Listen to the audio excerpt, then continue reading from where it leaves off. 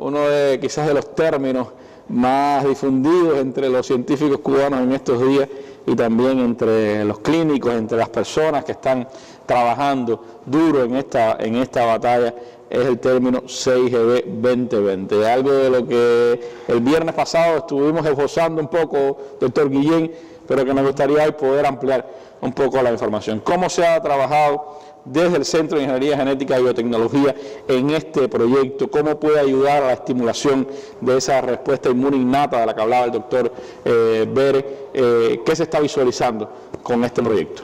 Bueno, Orlando, muchas gracias y un saludo y buenas tardes a todo nuestro pueblo.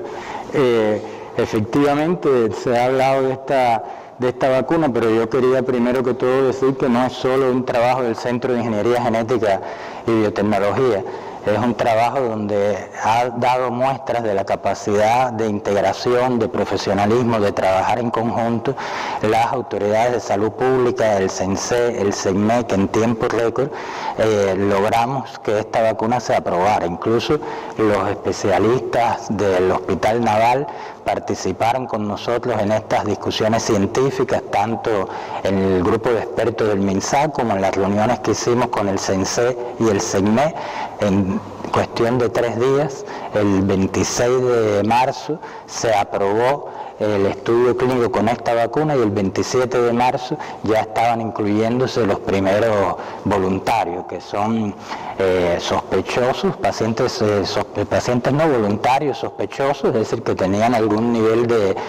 síntomas e historia epidemiológica de haber tenido contacto con posibles eh, portadores del, del, virus y contactos de esos sospechosos en el hospital naval, que ha sido el centro donde se ha desarrollado este estudio clínico, Hospital Luis Díaz Soto, y como yo dije en, la mesa redonda el viernes pasado, estábamos trabajando como si fuera realmente una sola institución y no el apoyo de la dirección del hospital, sino yo diría que todos los trabajadores del hospital, de todas las áreas, de laboratorio, los médicos, los, hasta las áreas de apoyo del hospital han estado trabajando con una disposición realmente admirable, igual que nuestros compañeros, los jóvenes, los investigadores en el, en el centro. Eh, ampliando lo que decía eh, Vicente sobre la inmunidad innata, nosotros estamos detectando en esta vacuna que se aplica por vía nasal y por vía sublingual, es decir, para estimular la inmunidad a nivel local, que es la entrada del virus al organismo. Nosotros estamos detectando cómo hay respuesta ya, porque mañana incluimos el, último paciente para completar todos los voluntarios que participan en el, estudio clínico. Y eh, ya hemos ido obteniendo resultados parciales en las muestras de sangre y las muestras de raspado de amígdala y sublingual que se han ido tomando de estos voluntarios y en paralelo hemos ido haciendo análisis de laboratorio y hemos visto cómo se estimulan, que es el diseño de esta vacuna, cómo se, se estimulan los, las moléculas de la superficie celular que marcan precisamente la activación del sistema inmune innato que, que explicaba Vicente y sobre todo el sistema inmune innato relacionado con los virus, porque el sistema inmune innato se caracteriza porque reconoce patrones repetitivos en los patógenos, en estos microorganismos patógenos. Y específicamente este es un virus RNA, el genoma, el material genético del virus está compuesto por moléculas que se llama RNA y nosotros estamos demostrando en estos voluntarios que se están activando los receptores o moléculas de la superficie de las células de la mucosa nasofaringea que reconocen específicamente a estos patrones repetitivos en los virus que es el RNA. Es decir, es una evidencia sólida de la activación del sistema inmune innato. Pero también estamos evidenciando a nivel de sangre que se están estimulando linfocitos y macrófagos, que son, eh, así como otros receptores de estas moléculas, de estas células, que son los encargados de presentar al sistema inmune los antígenos del propio virus que nos está infectando y por lo tanto estimular una respuesta inmune específica contra el coronavirus. Es decir, estamos a los dos niveles demostrando la activación del sistema inmuno y cómo el sistema inmuno activa la inmunidad específica contra el virus en el organismo. Eh, es un poco eh, sacar las fuerzas internas esas que tiene el ser humano y que, que hay que estimularlas ¿no? para, que, para hacerlo, a pesar de no ser una vacuna específicamente para, para el coronavirus. Realmente, eh, bueno, estamos con, en estas, con estas vacunas para estimular la inmunidad innata, estamos prácticamente abriendo un campo que está muy debatido actualmente en la humanidad. y otros grupos que están trabajando con esto en el, en el mundo eh, y nosotros estamos participando de al mismo nivel en este campo de investigación que es vacunas específicas para activar la inmunidad innata. No existían vacunas para este propósito hasta ahora. El coronavirus es el que ha hecho que se desarrollen estas vacunas aceleradamente y bueno, Cuba cuenta con dos de,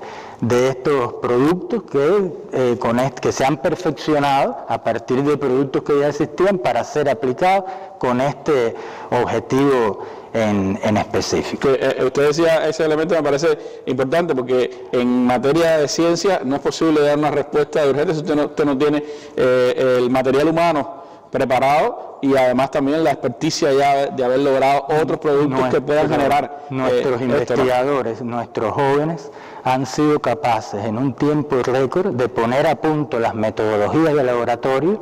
que han permitido, creo que había unas láminas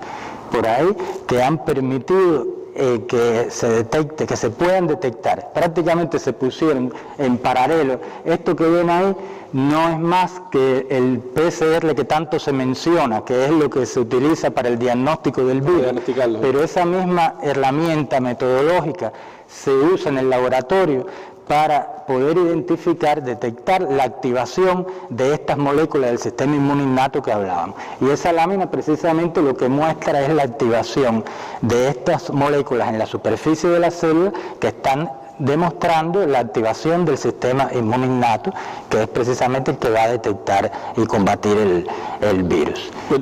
después de esta, después de esta etapa que ustedes terminen con ya la incorporación del último paciente de, de muestra, ¿qué debe venir?